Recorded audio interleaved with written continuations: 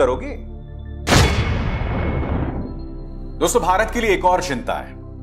America की धार्मिक आज़ादी पर एक अहम संस्था है, जिसका नाम है यूएससीआईआरएफ इन्होंने भारत के गृह मंत्री और भारत के प्रधानमंत्री के खिलाफ प्रतिबंध लगाने की बात कही है। क्या कहा है? मैं आपको पढ़ के सुनाना चाहूँगा।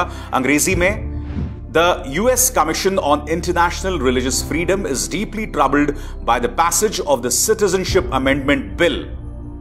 If the CAB passes in both houses of parliament, the United States government shall consider sanctions against the Home Minister and the other principal leadership.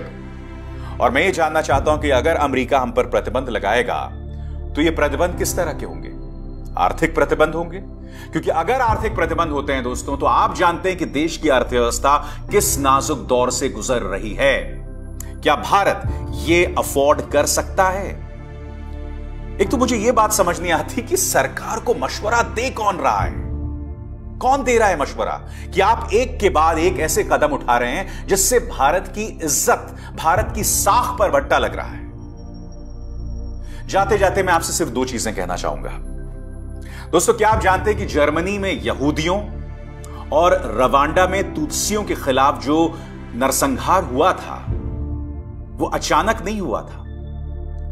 यहूदियों की नागरिकता पर इसी तरह के अंकुश जर्मनी में लगाए गए थे।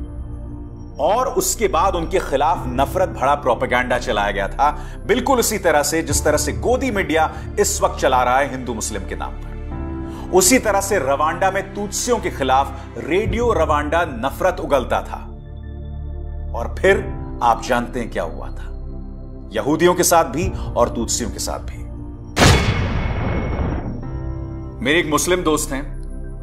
उनके पिता अब ज़िंदा नहीं हैं। तो वो कह रही थी कि कल अम्मी का कॉल आया था और अम्मी मुझसे कह रही थी कि मैं तो तुम्हारे अब्बू का पासपोर्ट फेंक देने वाली थी, मगर अब मैं उसे जानबूझकर बचा कर रख रही हूँ। पता नहीं कब ज़रूरत पड़ जाए। अमित जी, हकीकत यह है कि सिटीजनशिप अमेंडमेंट बिल से देश में असुरक्षा बढ़ रही है। और आप जो इस देश के हिंदू हैं, इस बात को याद रखिएगा कि आपके देश के अंदर जो 14 फ़ीसदी की आबादी है, उसमें अगर आप असुरक्षा बढ़ाएँगे तो यह मत सोचिए कि हम सब खुशी से रह पाएँगे। यह मत सोचिए कि इस बिल के ज़रिए आप मुसलमानों को ठिकाने लगा देंगे। ऐसा कुछ नहीं होने वाला है। आप पूरी दुनिया में लगातार बदनाम हो रहे हैं और हो जाएँगे। और इसका सीधा असर आपकी रोजी रोटी पर पड़ेगा। और जब आपकी रोजी रोटी पर असर पड़ेगा ना तब शायद अकल ठिकाने आए।